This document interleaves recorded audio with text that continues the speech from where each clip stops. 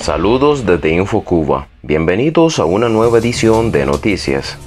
El logo de Texan Autopistas de Miami, la colocación de una inmensa valla publicitaria en las autopistas Palmetto anunciando recargas telefónicas a Cuba y el logo bien visible de Texas, monopolio cubano de las telecomunicaciones, está generando consternación entre cubanos residentes en el sur de Florida. La curiosa valla está situada entre las calles 58 y 74 del noroeste del condado de Miami-Dade y el anuncio fue pegado por la compañía Catapult cuyo dueño es el empresario cubano-americano Hugo Cancio.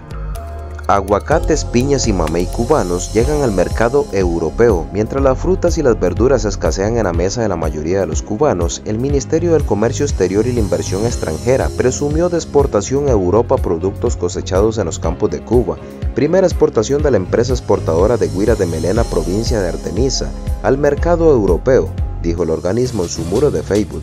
Las fotos muestran cajas de hermosos aguacates, piñas y mameis, exquisitamente envasados y etiquetados, frutas que hace mucho tiempo dejaron de estar al alcance de buena parte de la población.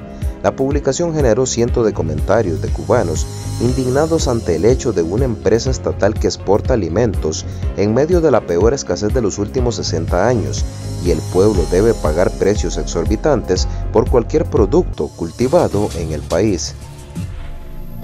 Liberan a opositor cubano Coco Fariñas tras más de 72 horas aislado y sin alimentos. El líder del Foro Antitolitario Unido Fantú fue detenido sin motivos ni explicaciones por la policía política en el mercado de la ola represiva que se desató contra activistas, opositores y periodistas independientes, previo al primer aniversario del 11 de julio dan un minuto de visita a familia de José Daniel Ferrer. El opositor cubano y preso político José Daniel Ferrer García pudo estar con su familia solo un minuto este pasado martes durante una visita a la prisión de Mar Verde en Santiago de Cuba. Tras 38 días desaparecido, asegura su hermana, pudieron verlo dos escasos minutos, semidesnudo, en calzoncillo y camiseta, muy delgado y con picaduras de mosquitos. Las denuncias de la población sobre casos de estafas en operaciones de compra y venta online de moneda libremente convertible a través de las plataformas Transfermóvil y en zona aumentan en Guantánamo. De acuerdo con el diario local Venceremos, las estafas reportadas se dan a través de las redes sociales mediante operaciones de compra y venta de dólares por transferencia.